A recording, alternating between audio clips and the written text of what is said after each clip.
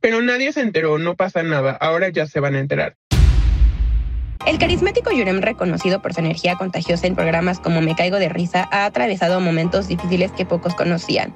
Recientemente reveló en una entrevista para el programa de René Franco en YouTube, La Tequila, una etapa de su vida marcada por la adversidad. Vivir dentro de una camioneta en el estacionamiento de Televisa, la historia detrás de esta situación es un tanto compleja.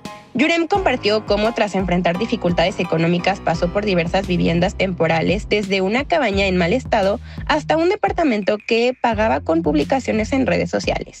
Sin embargo, la inestabilidad financiera lo llevó a alquilar un lugar que resultó ser demasiado costoso, forzándolo a tomar medidas extremas para ahorrar.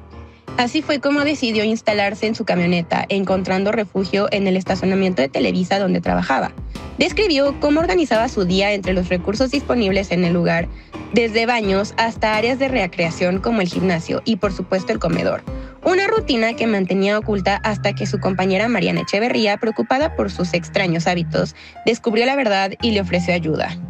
A pesar de la generosidad de Mariana, Yurem eventualmente prefirió regresar a la casa de su madre, y más tarde acondicionar su propio garage como vivienda. Aunque ahora disfruta de una situación más estable, recuerda con humor y resignación su tiempo en el sexto piso del estacionamiento de Televisa, un episodio que hasta ahora había mantenido en secreto.